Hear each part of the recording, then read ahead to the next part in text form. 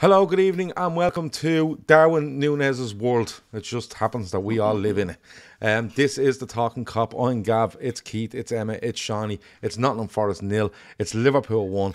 It's one goal. It's a whole huge ball of fucking reaction, which has been absolutely incredible. And we're going to try pick it apart between now and 11 o'clock. If you're in the chat, you're very welcome. Hit the like button so we know you're in there. Leave your comments in there, and we'll try read out as many as we possibly can. And uh, if you want to become a member, for euro a month, you can hit that join button as well. Don't ask me if you're on an iPhone. I'm not doing it again. Um, figure it out yourself. Anyway, um, Liverpool just about got three points at the City ground yesterday. Thank God, because two minutes into the game, they were singing about poverty and all this shit. They're a terrible football club. They deserve to go down, and I'm putting on record. I hope they go down instead of Everton now. I really, really do, and that takes an awful lot. That's where they rank. that. That's Oh, where they're Jesus, ranking now in the A huge order. amount for me to say that, an absolute huge amount for me to say that. But anyway, look, as usual, um, the lads done an excellent post-match show after the show after the game yesterday, Kevin Matt, and um, they cover every little minute detail and all the minutes and all the notes. We don't. We look at the reaction, we look at some players, and then we get out of your hair. That's how it works. Keith, I'm going to start with you. Um, look, we go into this one, and I felt we needed a few players back. They happened to be back because they were on the bench. But I went into this one, and I was talking to Kev on Friday night, and I said, Kev, you know, there's big games coming up, but this feels like the one that just catapults you into the the run in now for me. And I would have taken a 1 0 and we scored after 10 minutes, or I would have taken a handy 2 0. But boy, Jesus, if you want to catapult the team, they were in 99 minutes with a header at the back post. Um, phenomenal gear overall. Oh, 100%, yeah. I mean, the team, we were all up in the air. We didn't know what sort of lineup it would be. But I think, you know, when you see Bobby Clark starting the midfield, I'll, speak for myself, I won't speak for anyone else. I was looking forward to it. Do you know what I mean? You're not worried about it. Whereas in previous seasons, if you see a young lad playing in there, you'd be like, oh, Joe Gomez, Alexis McAllister, and Bobby Clark. I don't know about that. Whereas now, you're looking at it, and Bobby Clark, you're like, yeah, he's fine. Uh, let's see him. Let's have a look at him. Gomez in the six, you're probably not sure about, but it wasn't Bobby Clark. And I think these young lads, we've said it before, they've really, really stepped up. And how long we can build on it, who knows? And what sort of careers they have, who knows? But these young fellas have really got us through this period. And when I saw Bobby Clark getting a start yesterday, I was delighted with that, you know, because I think he's been really, really good. He's a player that I've liked, but didn't think he'd have this impact. You know, I looked at him for the younger teams and I thought, what, what is he? You know, he's a bit of a, where does he fit into the team? But he's a walker, and I'm a big fan of him. So I looked at the team yesterday and I thought, okay, yeah, the forward line isn't doesn't have the big hitters in it, but the lads that have been sort of getting us by, you know, we can't argue with the results. Um, so ultimately, yeah, I was happy enough to see to see the young coming in and playing. And the reality is, it's a lot of games in a short period of time, and maybe it catches up on us a little bit. But how it plays out, Jesus Christ, that was unbelievable. We'll come to that, the exciting stuff in a minute. But at the start, yeah, looking at it, looking at their team as well, they have a few good players in there. I know they're not the best team, and the are a gang of shitheads like their fans and all are, are an awful shower. But they've got players that can hurt you, except in the forward position, and the game pans out like that. I think Elanga's pace is a, is a threat, but my Jay Z doesn't have an end product, and thank God for that because you know, a team with a bit more cutting edge might have had a bit more joy against us yesterday. But we'll talk about Caoimhín Kelleher again, stood up when he needed to stand up. And this team have a lovely little bit of momentum going going into this game and now coming out of it. It's like a fucking steam train. So yeah, let's build on that going forward. Happy days. Emmet, he's talking, Keith's talking about Bobby Clark there, and, and we're going into it. And I, I messaged into the WhatsApp beforehand when I seen the team, and I went, ah, we needed a couple of bodies back. But, you, you know, when you. We're going to go, go on to a goal and we're going to go on to players that come on, and Alexa McAllister's definitely going to get a mention. But when you see that midfield, you know, and McAllister's had a lot of bleeding time, a lot of lot of minutes in his legs recently. You've got Joe Gomez, who's literally predominantly played left back this season, um, for the longest stretch, and you've got Bobby Clark that's come in and come on the scene. Not even this season, I would say in the last four or five weeks, he's come really come on the scene. You know the sort of way. But they just keep turning her out. They just keep going like, no, we're not having this. This is what we fucking do. And Klopp is going, no, I'm putting them on the pitch. I might have to just put them on the pitch. But when they go on, they know what they're doing. And like they didn't look out of place. It felt like a centre half yeah. playing at, at six, right? And a young flip playing beside him. And McAllister, who earlier on the season you're going, does he have the legs to get around in this in this midfield? It's just ridiculous. When I looked at him, I was more concerned about Gomez than I was um, about Bobby Clark, and I think that just kind of goes to show what kind of uh, performances the lad has put in the last while. Like I think I put it into the WhatsApp and said, "Did anybody blink an eye with Bobby Clark in midfield?" And everybody was, "No, not at all." Um, Gomez, I think Gomez is he's been a revelation this year. I, I probably would have been yeah. one of the ones that would would would have written him off. Um, but mm-hmm. at the same time, I would have also said Matip had, had a resurgence there um, last. Like he was fifth at the Knackers Yard as well, and uh, he turned around and kind of had a resurgence. And I, I would have loved to see Gomez have a resurgence. I think this year is Gomez's resurgence. He's Joe Milner this year rather than Joe Gomez. He's played left back, right back, centre half, now in the six probably didn't have the best game in the world, but we were all kind of thinking that maybe McAllister didn't have the best games at the start of the season when he was forced into play the six. But then, Seany, you said into the into the WhatsApp group as well that everything in the first half seemed to be going through Bobby Clark, and one of the first things he does in the in the game is he nutmegs your man Yates, and we'll come to him later on. But um, and then he double kind of puts his two fan hands into his face, and then he nutmegs another lad later on. It's like it's like he's been playing in the team for the last three or four seasons. And uh, nothing seems that, to is that just is that just like you know when, I, when you say t- players are in a rhythm, and they, you know yeah. if you're playing two every three days or every seven days, you just want to play football. He looked yeah. like that yesterday. He looked like forget his age, forget the experience. He's just in a rhythm. He's won a cup. He's he's he was involved during the week. Now we hear he is again, and he's like, yeah, I'm just playing with Liverpool. Just what I do. And, and, and like Seany said, everything seemed to go through him. Um, I would have preferred, and I did say in the WhatsApp, would have preferred maybe in the first half if Diaz was as wide as he was. Diaz seemed to be very narrow. Um, but look, it, it, I think we did all right in the first half, but very, very impressed with Bobby Clark. And like I said, didn't bat an eyelid um, when I saw him on the team sheet. Um, I wouldn't have batted an eyelid if I saw McConnell either. Um, that's just the way. And look, we're not even mentioning Bradley. Bradley just seems to be like part of the furniture now. He's, he's, still yeah. he's still only twenty. Yeah, um, yeah but he's uh, swanning around the gaff now, calling the other lads the young lads. You know what I mean? He's had enough of them now. He's, he's broken away from them.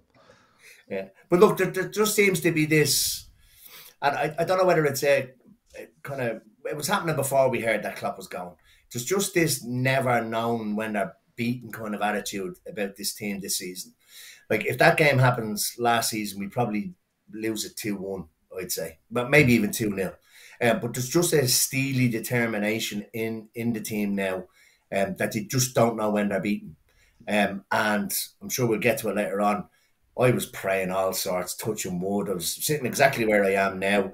I don't generally believe in God, but I had a word with him yesterday. Um, but that was only at the like the 92nd minute because I thought all the way through the game I was like, now we're, we're going to get back into this, and then I was like, oh shit, 92nd, 93rd.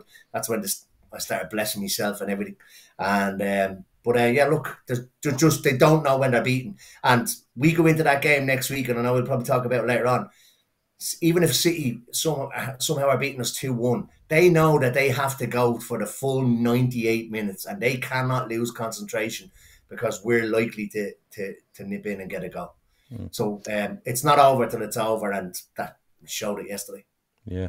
Uh, Ashley says um, his dad, I presume, uh, Clark's father, who's Lee Clark, was on the radio talking about how Clark has moved into the senior dressing room a few months now.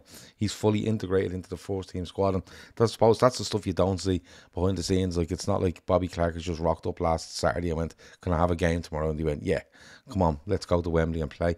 Seany. He's not, he's not willing to get pushed about either, these kids. No, because someone says there. That. Yeah, someone, about a bit yeah, somebody in there said, um, and I, have I've lost it there, but basically said like, oh, there, Dylan says always wants the ball, rarely makes a wrong decision, likes a foul when needed, and looks like he's had ninety uh, hard minutes in his legs. Yeah, he just does look like a player. He's just a player, and you have to treat him like that because Klopp has said it. They're young legs, but they know exactly what they need to do. So he holds them to a very high standard.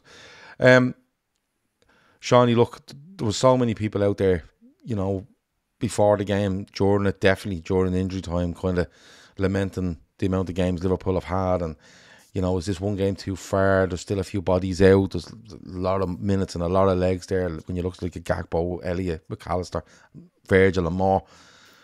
But Johnny, they just don't stop. And you know, and you know what I mean. It, it's a great goal.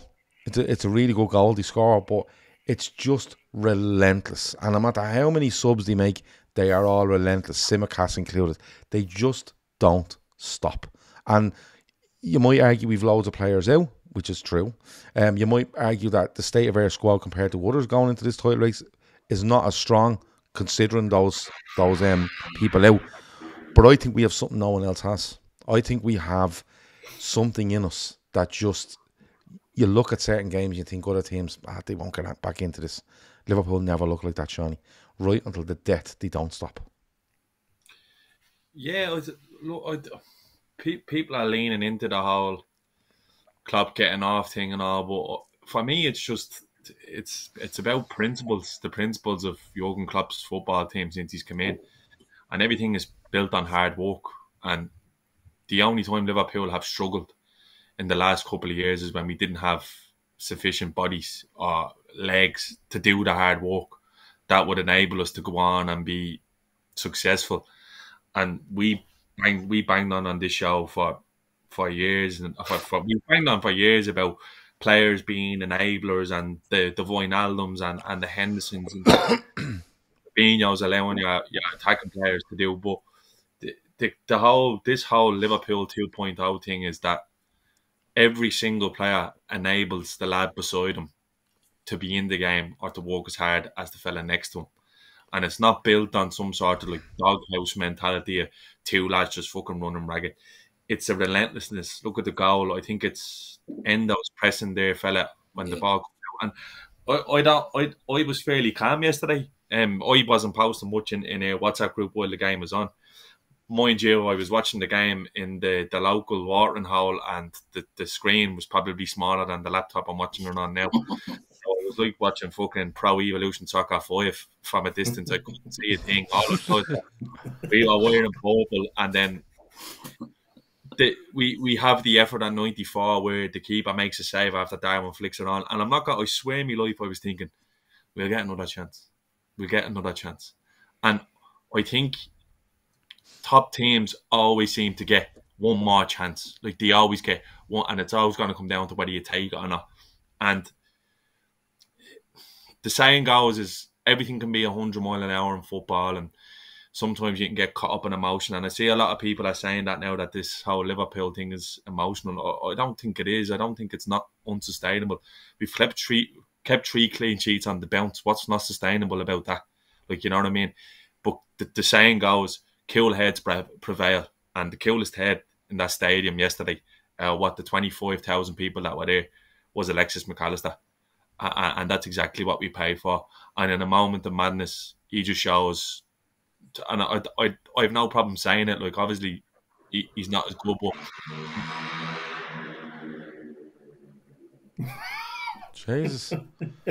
Some fucking getaway car there. What's going on? That's down Keith's way. Some fuck it. There is my way. Yeah, there's some fucker rallying a motorbike. in the back of his push bike. Max Verstappen's um, after getting a new motor. Yeah. yeah. Uh, just uh, messy like qualities to kind of when when everything is going at 100 mile an hour, he turns out and just clips it. When I reckon 99.9% of other players in the Premier League are slashing at it or trying to walk the keeper. And he just clips it, and it's a lovely little bit of movement from Nunez, and he's just wheeling away. And it, that's Alexis McAllister personified for me because in the fucking in the eye of the storm, he's the calm. Like you know what I mean? He he's the one that's uh, it's all right. It's good with me. You seen in the World Cup final, games going a million mile an hour, balls comes when he's controlling the tempo of the game. He's been fucking unbelievable since he's come back into the team from injury, and he's about as close to world class you can be without being world class, in my opinion. It, he's not got much to go, but Kev O'Sullivan's um, Kev O'Sullivan's getting an awful lot of abuse because he's he said a, a couple of times this week he doesn't believe Alex McAllister is world class. He really he reckons he's really really really really good. Yeah, look, I think world class, and I agree. I agree with him. I so actually agree with him. I know where he's coming yeah, from. Like, I think there's just something there's a, the only thing he has to be now to be world class is to kind of put the put the, the titles on the table, like you know, put your medals on the table.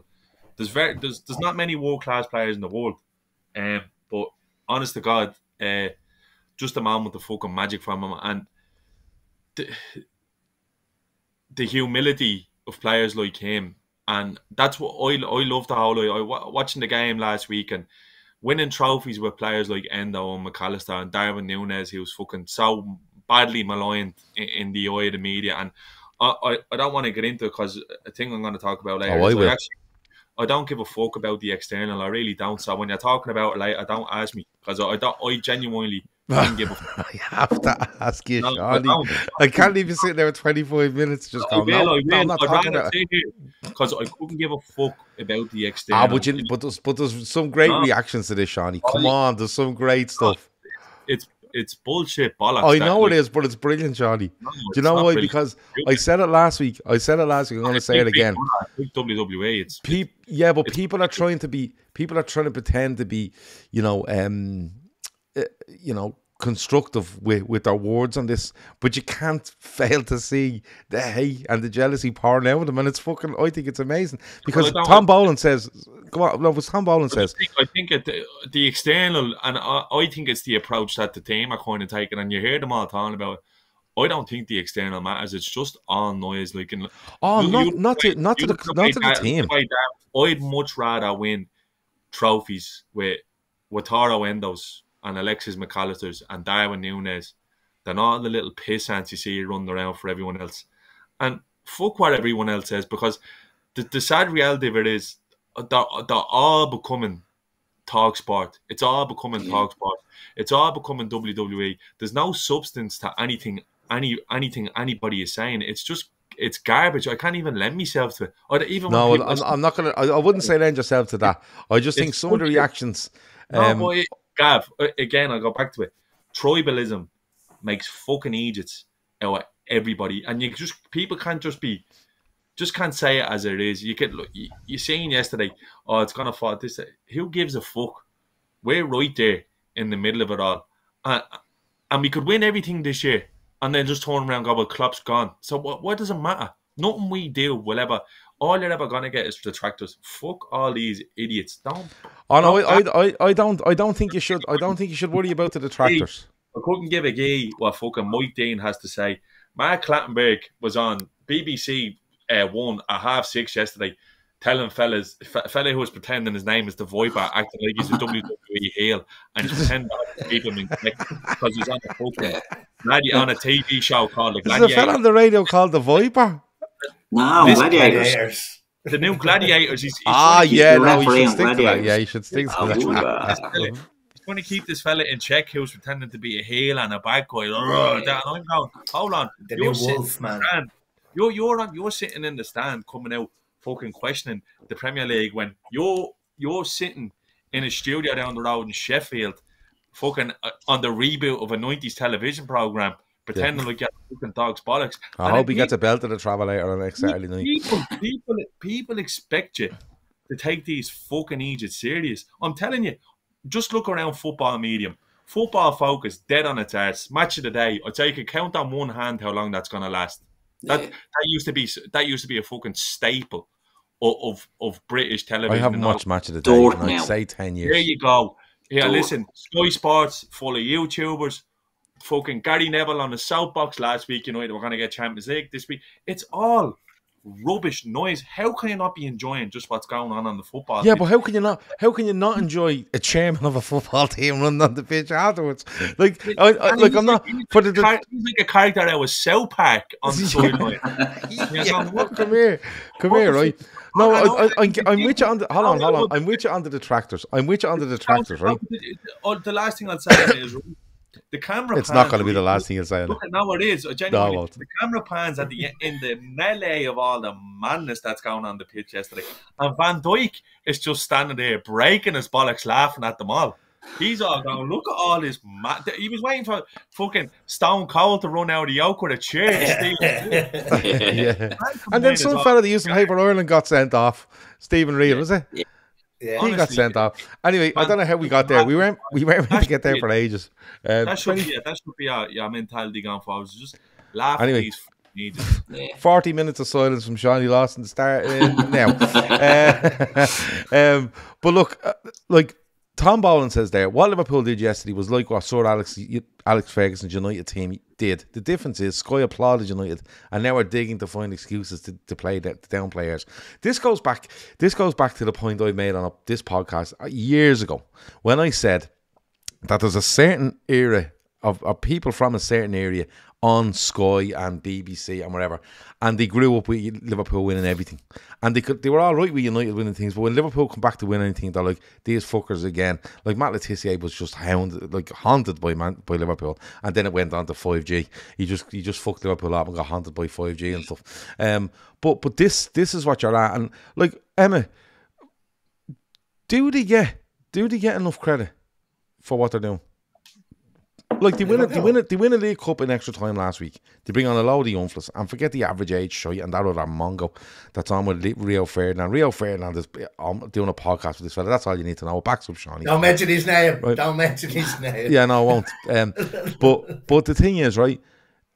Like you see, you see, like they win that. They they have a tough game during the weekend to Luton because of the players that are out, the minutes and the legs. They win that. They come away to Forest, who are fighting for their lives. Liverpool are down a load of men again. No fucking no rest time. Straight in, win the game again, and everything that comes out of it, unless you're a Liverpool fan, right? And the, and in fairness, the odd Nottingham Forest fan, I did say, gone. We weren't robbed there. We were just beaten by a better team who still had a load of players out.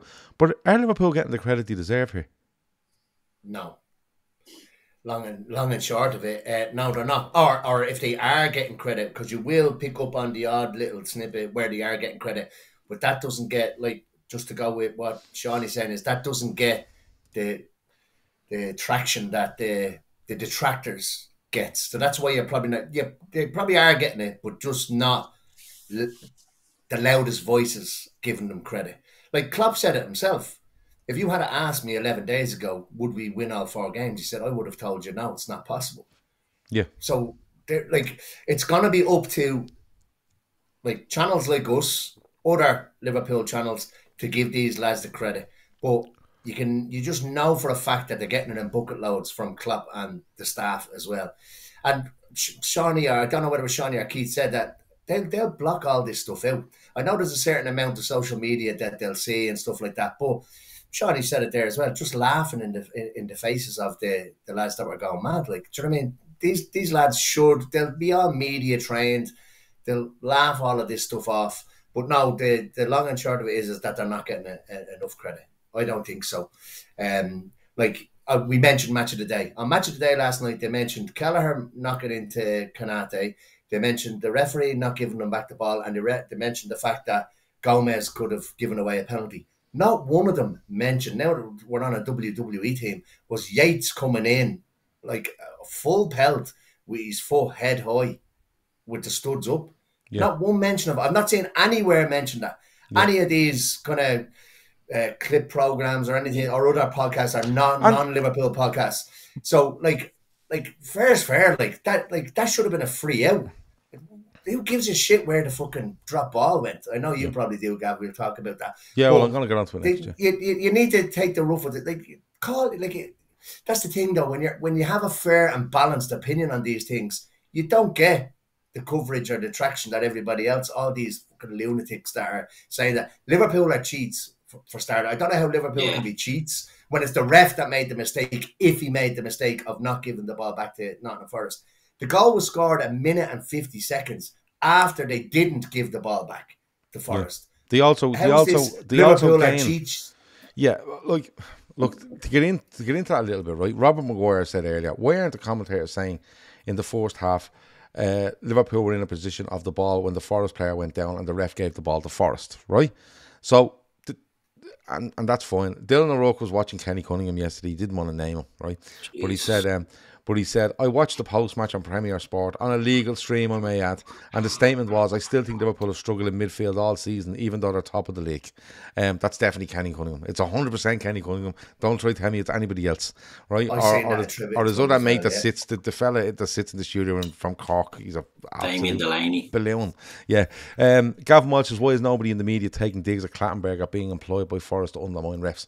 So, look, Keith, on this, right? I think, I think he gets the decision wrong twice yesterday, right? Yeah. And I think because he gets the first one wrong, I think he deliberately gets the second one wrong. Now, the rule is this is the rule. The rule is that if uh, the head injury occurs and the play has to be stopped while the ball is in the op- in, in the penalty area, okay, the ball must be given back to the defending goalkeeper. All right, that's the rule. In both instances, the ball goes out. I think they both go outside the box and they drop to one a Liverpool player and the other one a Nottingham Forest player. He blows the whistle both times and both goalkeepers end with it back. That's the rule, right? Clattenburg comes on afterwards and states the rule, right?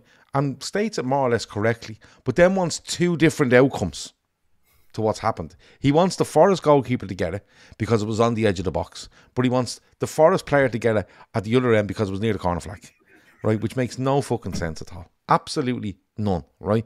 And you and the whole thing about Clattenburg is, and this is where Seany is absolutely bang on, the fact that Mark Clattenburg is now doing the Gladiators, and when he's not doing that, he's sitting at the City ground and telling people on national radio that he's going to advise the manager and the board and the owners as to how to proceed against these things when it happens is an absolute farce, Keith. He definitely gets these. I think he gets both decisions wrong, but it, but the one thing you would say is that he's consistent in it. Do you think one leads to the other? I think it might. Yeah, look, how many times have we said it on this? Referees are shy. Like, Yeah. they're incompetent. At the end of the day, it's not up to Liverpool to enforce the rules for fucking Paul Tierney. It's up to Paul Tierney to know the rules. Now, I don't think he, he deliberately done that to even up the one in the force. I would just think he's a fucking cabbage that doesn't really understand what's going on and struggles under pressure. Like I think I don't think he deals with pressure well, and I think if anything's in his head, it's the fact that he knows there's the issues with him and Klopp, and maybe that's affecting him. He's fucking useless. But the way I look at that, right, Mark Clattenburg for a start, right, he's been wheeled out here as some oh, ex-referee, ex-Premier League referee. Employed by Nottingham Forest, so he's hardly fucking impartial. So let's just Do move Forest on from should him. Forest should Forest be looked at uh, um Uh, some sort of disciplinary action here because someone within their club is, is out undermining referees, regardless of who we what is Hold what on, his Evel Knievel's gone by again. I'm going on mute for a second. Can I can I just say in terms of Tierney, and maybe someone that's in the chat can go back and maybe have a quick look at a video. But when I was watching it last night, I'm nearly sure that he mouths the words. Well, he obviously didn't mouth them; he said them. But when you're watching it, you don't hear him saying it. I gave it to you in the first half. I'm nearly sure if someone can go back and check I haven't that, seen that. put it into the comments. Does he? Ah. I'm nearly sure he does. Yeah, I haven't seen that. Uh, It's typical like, like how how how has nobody in the media mentioned that this is about two and a half minutes before we score? Yeah, yeah. Well, Yeah. in fairness, Neil Mellor, I think Neil Mellor does a tweet and he breaks it down. There's about eight different phases of play Yeah. between that and the goal, and and people are going on about games being fucking over refed. And what did he want to do? Do you want do you want to pull back that goal over something that happened two and a half minutes ago and say, well, you know what? It's a kick out.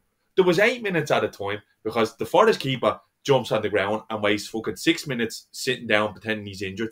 The two players booked for time wasting. and it. Like, Well, the two players booked. Sorry, the two players booked for time wasting within the eight minutes. Yeah. Yeah.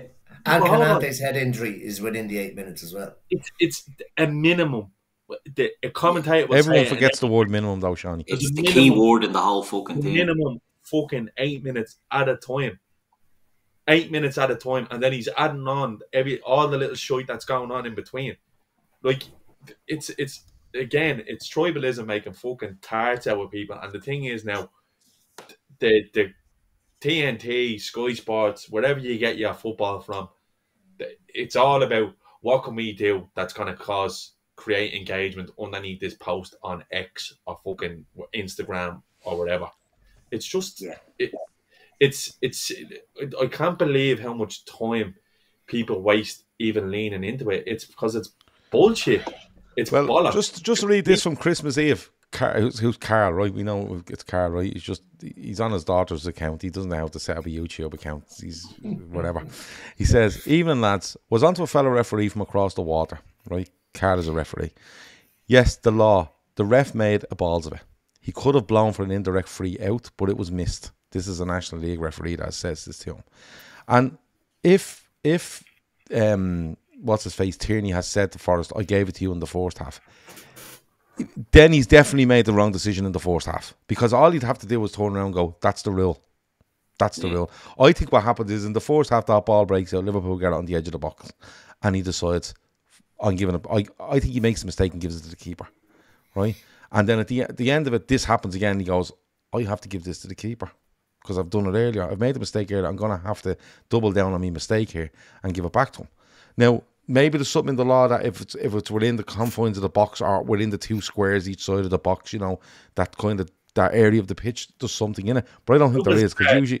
all it sounds like none of this will matter if No, well, well let, me- let me read out something else here. 96, 96 minutes and 45 seconds. Referee gives the L- referee gives the ball back to LFC. 97 minutes and 23 seconds. Forest get the ball and panic clear. 97 minutes and 50 seconds. Forest failed to clear. And, and when can um, 98 minutes and 31. Forest have comfortable possession and lose it. 98 minutes and 37 seconds. It's 1 0 to Liverpool. So I think we have to differentiate the the the fucking the drop ball and the goal because they're two separate things. Do you know what I mean? It's it's two minutes. I agree with previous. Do you know what I mean? Like I think did I seen a good thing on Twitter today or X or whatever it's called. Like we're arguing over the, the ref giving the ball back to the wrong team on a drop ball, right? Nobody had fucking blink an eye if this was a goal kick given instead of a corner. Do you know what I mean? That was Yeah. a clear fucking, you know, goes out for a corner and it's just you get on with it. These things happen. This is something different. It's a should have got should have gone to Forest. Probably should have been a free kick to Liverpool. And anyway, fucking move on. Forest had all the chances in the world to clear that ball. In fact, in the actual lead up to it, it's who's a uh, oh, Awoniyi that gets caught on the edge of the box. Is Yeah. it Boyendo? Yeah. Like dilly dallying, Hudson Yeah. Odoi dilly dallying. Like they had the chances if they cleared their lines.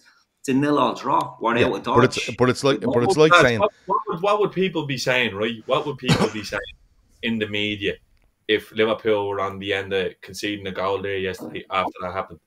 We'd be called every name. We'd be called every name under the sun, Rangers and Yeah. told to get fucking Yeah. on with it. The way we were back in September, the way we got told, look at these fucking idiots looking for replays. Oh, what, what what's going on? FIFA Mm-hmm. writing it the rule now that replays might be a necessity if there's a VAR, if there's a VAR issue. But we're the we're always the worst cunts in the world when it comes to yeah, yeah, like, and that's the thing is, it just roll with all this shit. And Well, just, I- but but it's- Seany, you see where I agree with you most on this is right? um, I I think something happened. I, when Rock was it young. No, sorry. football. It was in lockdown football, and Roy Keane turns around and goes, "Yeah, he makes a mistake, but United had four or five opportunities to get rid of the ball between the goal and the mistake. So whose fucking fault is it really? And, and that's that's what not or not one single analyst or pundit have I seen picking up going. Why isn't your man Awoniyi just putting the fucking ball into the stand instead of Yeah. trying to dribble over and then turn around moaning at a ref? Yeah. It's out of bollocks. Honestly, But like it- it- Ga- Gavin Walsh said something here, and I think this is where I agree with you most on the whole. You know, it, it's just a big fucking entertainment narrative thing, right? He says that joke shop Mike Dean called the drop ball a monumental decision. Mike fucking Dean, give me strength and patience. Now, Mike Dean is interviewed before the game earlier on today. Um, I think he's in this. I think it's in the in the City Stadium. He's interviewed, and he- he's basically going, yeah, Paul's made an awful decision there. And it, went from a bad one to an awful one to a really, you know, high profile one to monumental. He just builds it up every sentence he says that the decision gets worse and worse and worse. But Mike Dean doesn't turn around and go at any stage and turn around and go, and you know what? He actually does the same in the first half when Liverpool are on the attack, and he and he he, he blows the whistle because there's a problem, which he should do, and then he actually gives it back to Forest when he should have given it back to Liverpool. So both teams actually got the wrong end of the wrong. You know, we're on the wrong end of a, a wrong decision. He he refuses to say that, and nobody says it. And like like you said, and like people have said, it's two minutes of football. That's a lot of fucking football between that ball being dropped, Forest getting the ball back on three or four occasions, and even when before Mac Allister gets it, two of the players have a chance to clear the fucking ball. So are we going to get to the stage now where if Liverpool are anyone's chasing the game, ball goes down the wing, defender kicks it off a forward, but the forward gets the throw in, throws it, we play for a minute and we score. Are we going to go back and go? Uh, what about the throw in a minute ago? Mate, there was fucking 25 phases of play. And then you're like, is that where we're at? And I'm not saying Paul Tierney is right in any way, right? I, I think he's wrong on both occasions. I think he's wrong on both occasions, but he's consistent in it. But we can't keep going back. And, and it's like I said to you uh, a few years yesterday. If we draw that game nil all yesterday, we have no reason to sit here tonight and go, well, Paul Tierney is this. Because, uh, in fairness, the game kind of went by and I didn't really know it was Paul Tierney right? We didn't score. We didn't create enough chances. We didn't score a goal. The 98 minutes thing, like if we are sitting there on 99 and a half going, oh, well, they fucking, you know, they, you know, got bookings in the thing. There's no real argument there, right? There's no real argument. What happened in that game yesterday is what happened. And if it comes out nil all, you go, we didn't do enough. You can't really have a go at the ref. You can't really have a go at the time. But just by chance, this man comes up front, puts his head in it, and scores, and the place goes mental. Right? Tries to break his foot in the process then by upending the city ground and the advertising hoarding. But that's just the way the game went. And the whole drop ball thing is not an issue. The only issue it's being made of is because they're telling one side of the story. And they're forgetting that he makes it the mistake earlier on in the game. And if he's if he's mounted it or he said it like you said, Emmet, that's clearly him knowing he's made a mistake in the first half. Because if anyone comes to him and he's hundred percent right, he goes, "That's the law.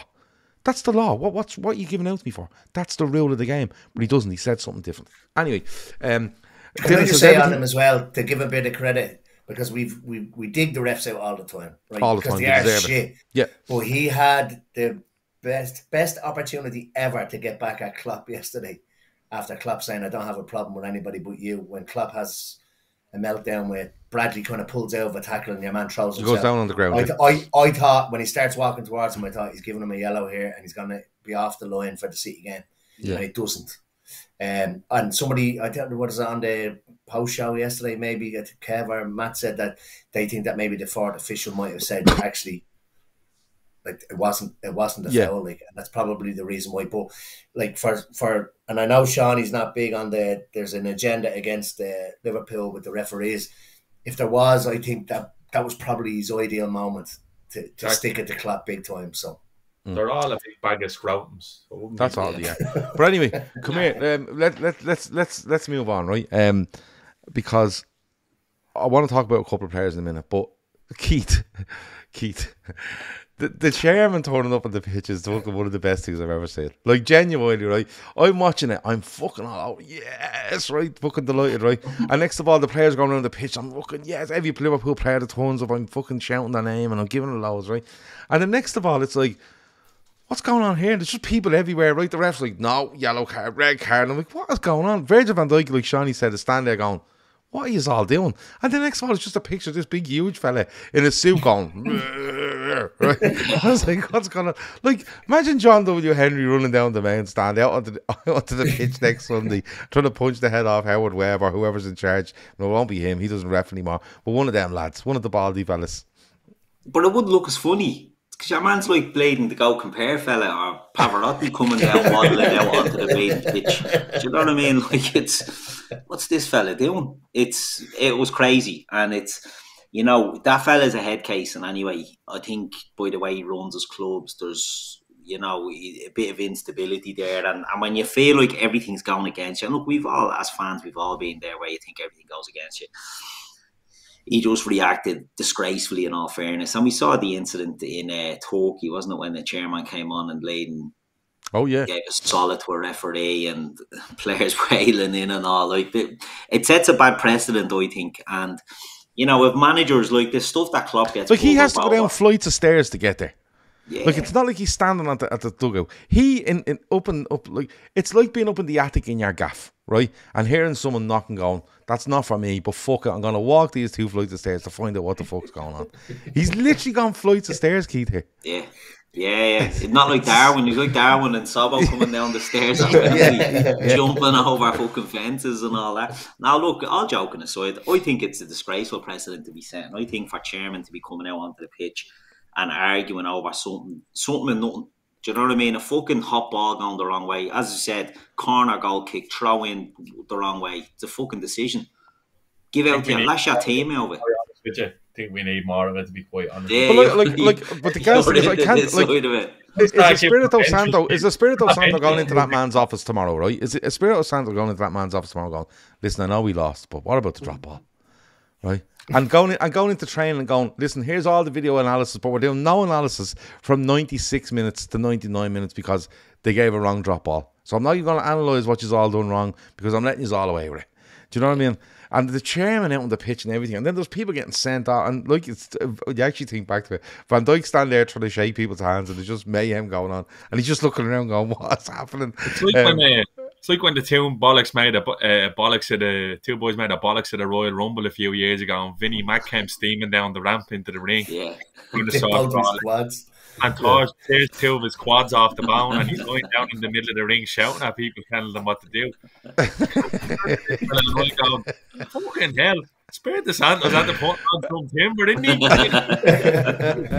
Could you imagine? The, could you pounds. imagine the chairman lying behind the goal for that last corner, going, "Mark up, lads, mark up." It's it's absolutely like I'm uh, like I'd imagine now when I was driving home his car going, What was that mad? Like, and he's gonna have to go into his office one night and get sacked by someone like him. Yeah. So imagine the shite that he put up with. no, yeah. And Mark Clattenburg sitting on the on, on the on the chairman's fucking on his on his shoulder going, Yeah, I think you should say something to the Premier League. uh, but I have to go now because there's they're Yeah, fighting yeah. with fucking drumsticks up the road here in a half an hour. fucking asshole. When Vinnie McMahon blew both his quads, Chris Pack is roaring laughing at that. Um, but look, let's let's talk a little bit about Liverpool because like uh, when all is said and done, you know, City have won today against United. Um, Jesus Christ, United played like Luton. Um, Arsenal will win away at Sheffield United tomorrow night by numerous amount of goals and loads of the goals. But Liverpool just keep putting that putting it out there, and, and you know, I think our next three league games are actually at home, um, because of the way things have fallen now. Um, City, Brighton, and someone else in there. I can't remember who it is. Um, but like Emmet, you know, it's a great win. The way we win it, the whole lot. We've a, we've a European game on Thursday. Then we've City. Then we've another European game. Then we've an FA Cup game, and then I think it's the international break. But like, where can these lads go? Like, and I know I'm I'm all for it. I'm all for winning everything. But and you know, part of me does be like, you know, God, you're fucking mad if you think we can win everything. But that's just the way I am. If we're in it, I think we can win it. But Emmet, if we keep getting players back here, and these young lads just keep getting that bit of experience where you can just slot them in for 20 here or 25 there, or even start them. Like, there has to be teams around us really, really, really fucking worried now. Definitely. Like, look, look who's still to come back. I mean, Nunez obviously comes on, scores his goal, but like when when he's starting games, we're a completely different team. Szoboszlai comes back, then I think the next back will probably be uh, Salah, then maybe Trent, and then hopefully come to, like. And these are all first team start. These all they might they might not go straight back into the first eleven, but prior to injury, they were our starting team. Um, but having these lads as backup or on the bench, like even Danns, I think, like when, when strikers have come on before, and I, I don't mean to be disparaging against Gordon because I think he's a really good player, but I don't think he's had the impact in such a short space that even Danns had. But even just seeing the flashes from Danns holding the ball up, playing the, I mean, he sets that goal up, uh, the Elliott goal, um, with a, with a slip ball through to to, to Gakpo it's it's like they've they've fit straight in. I think we've said it several times. We've probably got the deepest, and this was prior to probably seeing some of these. We've probably got the deepest squad in the Premier League. Now you add in these three or four lads that have impressed over the last few weeks, and like, it's it's scary. Um, how good um I think we we can be. Like we Nunez has his Vincent Kompany moment yesterday. Uh, yeah, yesterday. Um, like they would have been all prepared and all like Arsenal definitely watched that match. City definitely watched that match, and they're thinking, "Lovely, these are about to drop points," and then we get that goal. It's like when we were all watching the the Leicester City game, and we're thinking, "Jesus, they're going to drop two points," and then he pulls that shot out of the bag, and you're just deflated. And that's Pep knows we're going nowhere. He, he, he hates it that it's us that's there. Okay, Arsenal are probably still there. I think they'll still drop off a little bit. But yeah, look, I'm with you. I've been with you for a long time, probably since November time, in, in terms of going for all four. Um, but I think uh, our our squad has probably never been as healthy under Klopp. I don't think. Um, we've had one or two lads that have come through and kind of fallen away. I don't see these lads like I know Jones has been around for a good few years, but I see these lads in the in the mold of Jones. They want their place in this first team now. They've had a little taste of it. It's like heroin. They've had they've had it, and now they want more of it. And I just don't. I don't. Yeah. Heroin's a knackers yard. This is what I'm saying tonight. I tell you. Do you know what I mean? But um, yeah, I don't. I don't see them going out. These these will be permanent fixtures now in, yeah, in the first team squad. There's, there's no well. Look, I think the way they've played, performed, and carried themselves, I think you know they deserve it. Will many of them be looking going? Oh, I'm going out on loan, you know, sort of way. May, may, maybe it will, but Seany, I said very at the very start about this game kind of being a catapult when I was talking to Kev the other night, um, Friday night that can it can be the catapult for going into the rest of the season. You know, the next couple of games before an international break, and then whatever comes after that. And what a way to start like catapult it. But like like Klopp talks about oh, winning those four and eleven days. We I felt was impossible, but Sean he definitely has to have a plan here where he goes right. Uh, Sparta Prague, um, City, Sparta Prague, United. This is four games now in, in another fucking whatever amount of days. Um, but with the players coming back, Seany, and those players we have there, I keep going back to it. We still have more to come in us, Seany. There's more to come into this team. Yeah, like, yeah. I know he's trying to plan it, but when when does Klopp get to the stage where he goes, you know what?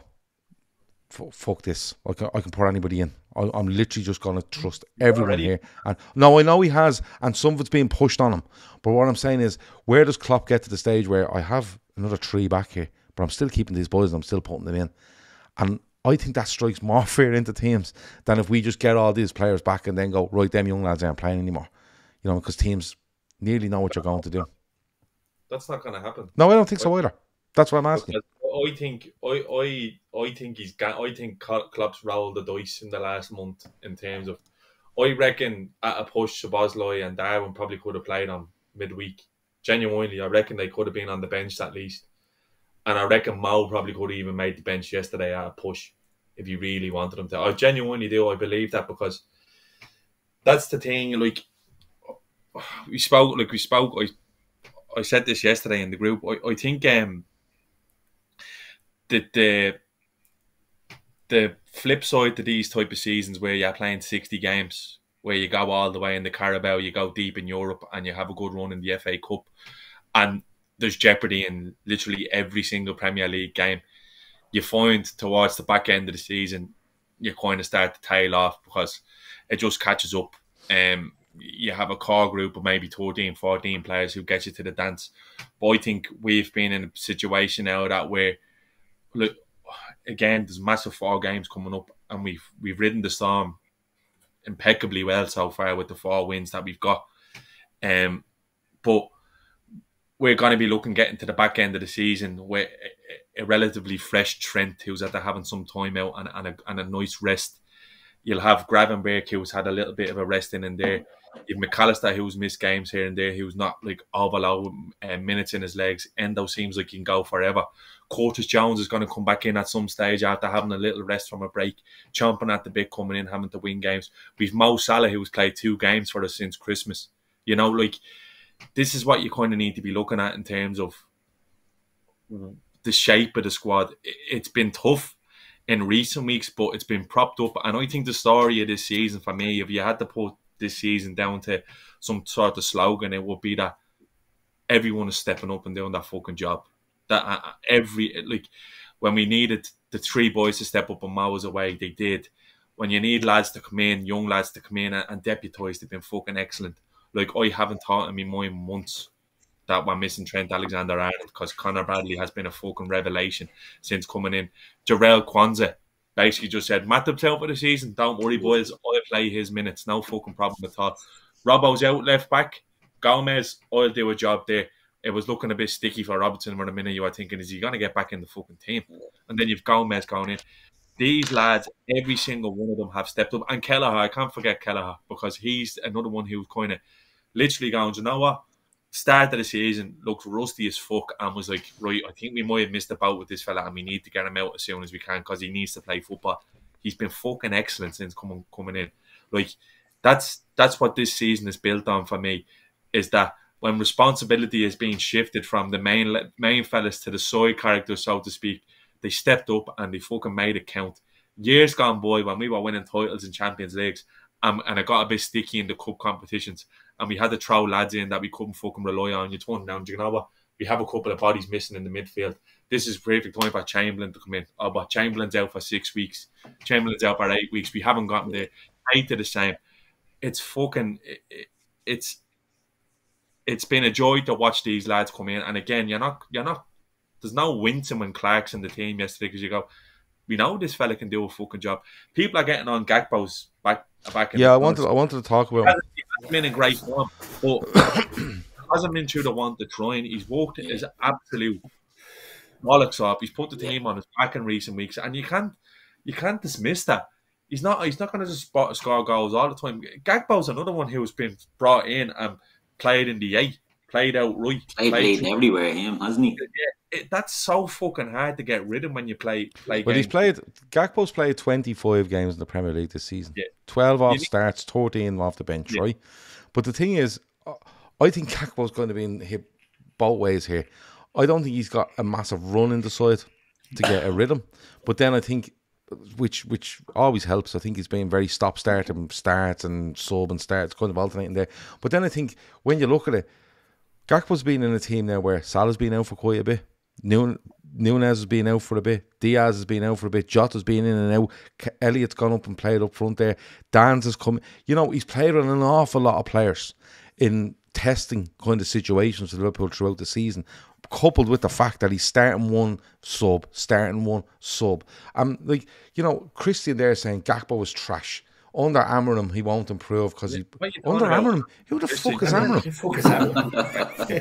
Who the yeah. fuck is that? We, we, we, we don't win the league cup without Gakpo. He scored some important goals. But what I'm saying is like, but, like, but then, but like I, I'm with um Calm the Mind TV says Diaz and Elliott were so deep midweek. Gakpo was practically alone forward. He's best when he's got players around him.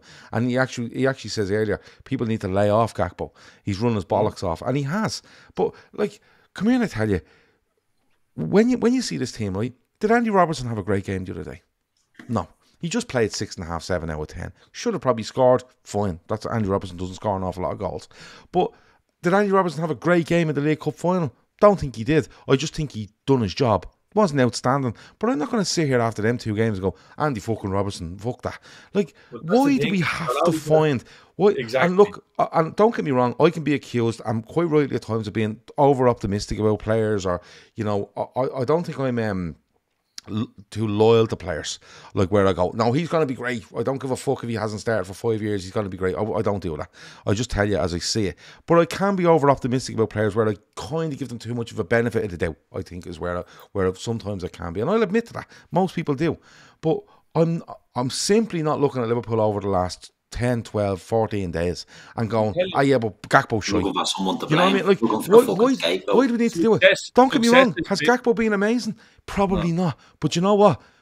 If, if, if Gakpo, if you put Gakpo on the bench and stuck a fucking young up front, now Jayden Danns been really good, so probably not the best kind of example. But if you, Success if you is built on players like Gakpo's back, it's it's all about it's all about bodies being there, exactly facilitating each other, helping each other, working for each other. Not going to suit a system for the manager who might never manage Liverpool.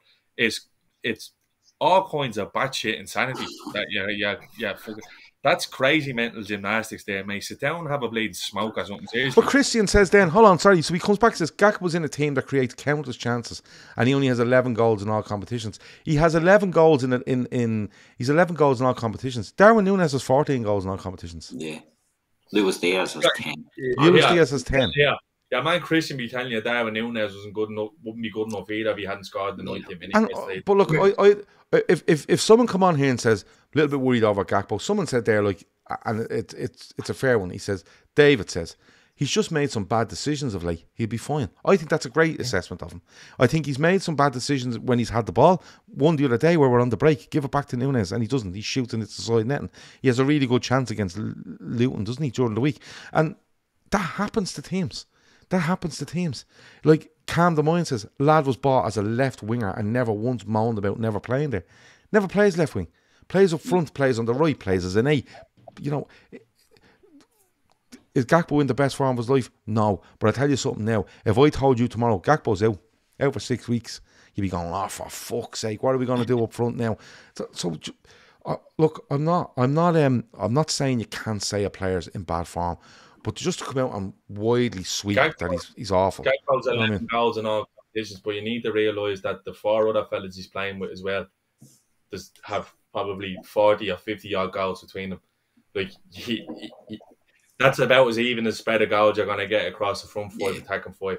Can't not be happy with that because he's had a couple of poor performances. It's it's it's silly. It's nitpicking. Honestly, it's it's a lot of bollocks. If I'm yeah. And Centurion says Gakpo is the new Curtis Jones for now. I, I get exactly where you're coming exactly. from. Now. There's always one. There's always yeah. One. There'll always be one. And look, Christian, I'm not saying you, you've no right to an opinion. All I'm saying is is that I think Gakpo for the amount of games he's played for the stop start nature of it and the teams he's been asked to come in and the job he's been asked to do to have 11 goals and I don't know how many assists right I don't know I haven't looked them up right but what I'm saying is for I think he's done absolutely fine what has he been good in the last couple of weeks he hasn't been standout but I don't think loads have been standout I think we've just gr- grinded into into games and went we're not being beaten here there was no we done what we had to do we won a game. We won a game of football yesterday. Days. We won a game of football yesterday, and I'm telling you now, you could count on half a hand how many fucking people were outstanding in that game yesterday. It wasn't about being outstanding. It was about making sure you weren't beaten in your in your individual battles, making sure you kept going,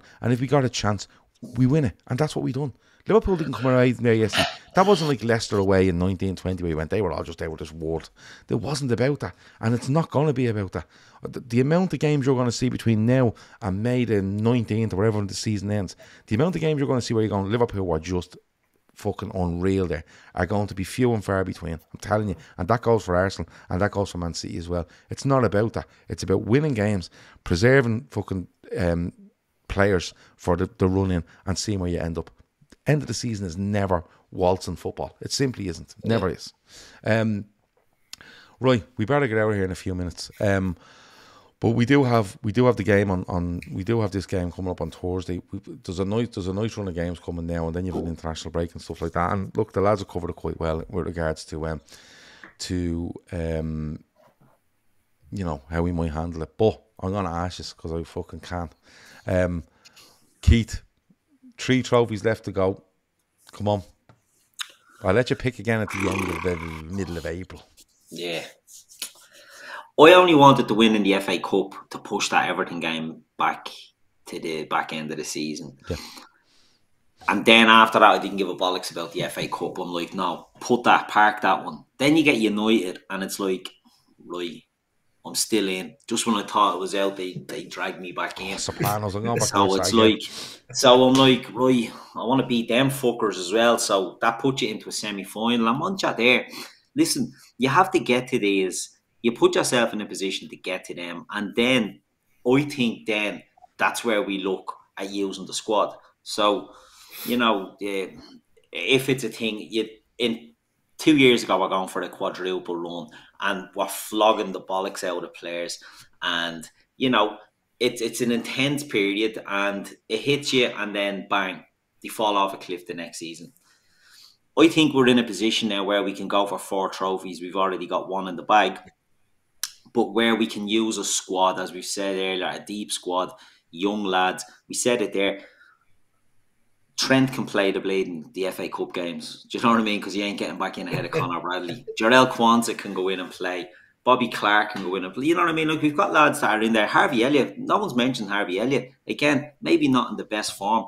He's walking his bollocks off at Liverpool at the moment, playing 90s, 90, 90 Centurion 90, said earlier 90, 90, 120, 90, 75. That's Elliot's last like, minutes in the last five. And see how disappointed he was when he came off yeah, yesterday. Yeah, good. Yeah, but that's that's. I don't. I, I, don't. I don't think that was being. I don't think that was frustration with being substituted off. No. I think it was being frustrated with that it was still nil nil. Yeah, and That and I think you've seen get a chance to impact. there's a player that at the start of the season we were saying was was impacting off the bench, probably couldn't impact from the start, but now he's in there. I was at the the Luton game. You know, he, he's poured in that first half. He sticks where it, gets a goal. Never stop running, never stop walking.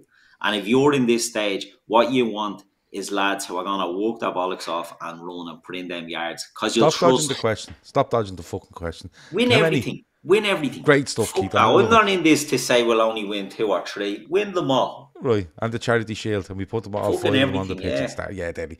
Um, And put a badge on our jersey. You know, by City are allowed wear the World Club Champ badge. Yeah. We weren't allowed to wear that only for one game. We'll put Yeah. our own badge on it. yeah, big Carling badge. Cup winners. Beating on the front big of it. Carling Cup badge. Big Carabao. Carabao sign on Just a can of Carabao. Right, Emmet, how many? All four. No mess. I like it. Seany, come on, Seany. Come on. Just give me the Premier League. I don't give a bollocks about the rest, to be honest with you. What? Give me. Yeah, honestly, because I tell you what, you could win the FA Cup and the Europa League and we'll get fuck all credit from these. cunt. Win the league and stick it up all that bollocks. Honestly, Yeah. win the league. That's I don't the one. I'm being, I'm being deadly honest with you. I know the final odds in Dublin and the romance will all be fucking brilliant. Be great to get there. I Might look after yourself. Just win the Premier League because I genuinely couldn't give a bollocks about the rest. Honest to God. Give me number I'm, three. I'm, I'm shocked and appalled. But win that. If we were given a choice, if you're given a choice now of just the Premier League or Just win the good league. run or a good Bollocks. run at the others, you take the league every time. You Yeah, take but, the like, league every but time. they're all there to be won. Ah, they Don't go are. fuck Of around. course they they are. are. Doesn't matter. Just They're Win all the there league. to don't care about And remember, the FA Cup and the Europa League finals are both after the league finishes this season, which um, is important. It's going to be important. Um, right. Anything else before we go, Emmet? No, all good. All oh, good. Keith, anything else before we go? Are we nominating a sausage of the week or the can if you want. No, no, it's There was loads. Of, there was a big bag of sausages there earlier. Fucking Stavros Flatley and all the other lads that, that ran Yeah, it has to be. blade It has to be One of them. Stavros. It has to be. One of them. He's been he's been called the Stavros Flatley. Your man out of South Park. Something else. Go compare. It's he's got it all tonight. Has to be him. Has to be. Yeah. Seany, anything else before we go? No, all good. All right, good stuff, good stuff. Right, before we go, link is in the description for our fundraiser. There's loads and loads and loads and loads is in there tonight. As I say, if everyone watching goes onto that link now and gives one euro towards that charity, we'll piss this 10 grand, honestly. So if you can, the link is in the description. It's for fan supporting food banks and it's for the Lighthouse.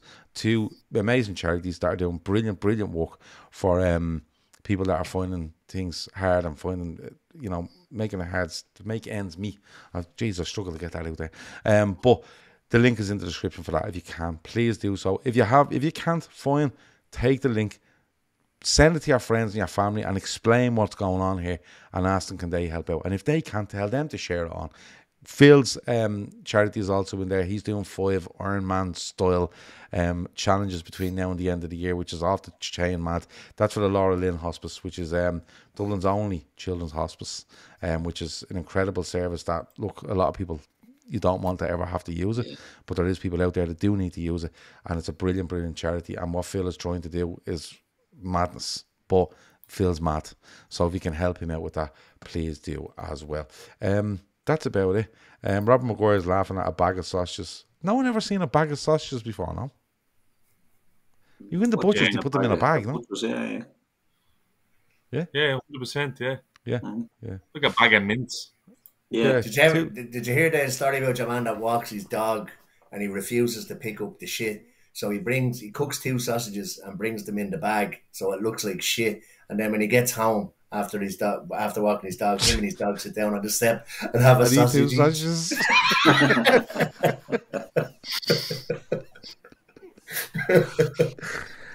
oh, for fuck's sake. Right, anyway, bag of sausages. When you go into buying mince, though, make sure you, if you're getting two pound, it has to be two pound in money worth of steak mince. Yeah. Because don't ask for two pound of mince; it's gonna cost you a mad a fortune. Just gonna That's old school, isn't it? Two Old pound school. money. Two pound of money worth of steak mince, please. Yeah. Send to the butchers many a times for that. Anyway, that has been the Talkin' Kop. It is Darwin Nunez's world. We are just happy enough to be living in it. Um, on to the next. We're back tomorrow. Back tomorrow night, and we look back at the weekend. Few bodies on tomorrow night, definitely. And um, we'll do some morning shows during the week. We'll have reaction to the Europa League game, and we'll throw whatever we can at you between now and next weekend. Um, and then of course, um, you know, City next weekend. So we'll definitely have reaction to that. And we'll be back on Sunday night. Seany's having a little laugh. What would you like to tell us, Seany? Go on, Seany. You have to see something there that made you laugh. Read it out. Go on. Just pack a fucking reprobate in that chat. I swear to God. right, okay. right. Let's let's go. Talk to you in a bit. Over and out.